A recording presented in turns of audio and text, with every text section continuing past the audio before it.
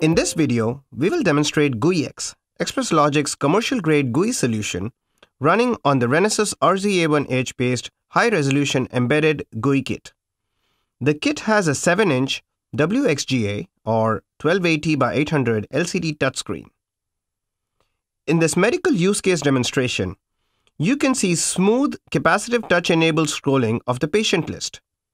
Let's select a patient here from the list and check his medication levels. You can see how the level of medication for the patient can be smoothly adjusted on the modern UI developed in GUIX.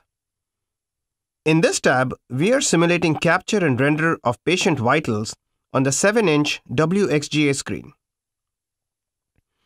The Renesas RZ-A1 microprocessor family has microprocessors with a 400 MHz ARM Cortex-A9 core and comes with up to 10 megabytes of on-chip SRAM thus enabling some pretty high resolution GUIs without the need for attaching external DRAM memory to the MPU.